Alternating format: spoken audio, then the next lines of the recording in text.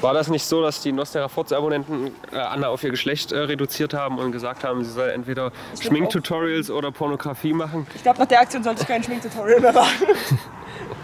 Du musst mal das Augen-Make-up betonen, danke. Und los geht's. Das hast du wirklich sehr hübsch gemacht.